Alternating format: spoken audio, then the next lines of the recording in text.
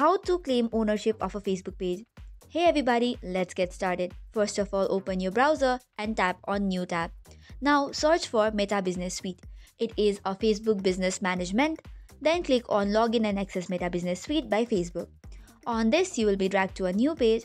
On that, you have to click on Settings. Once you click on Settings, it will drag to new page. Now click on Business Assets.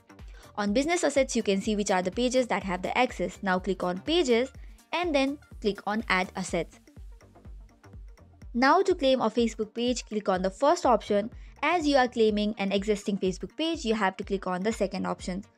On this new page, you are supposed to give the Facebook page name or URL of your Facebook page.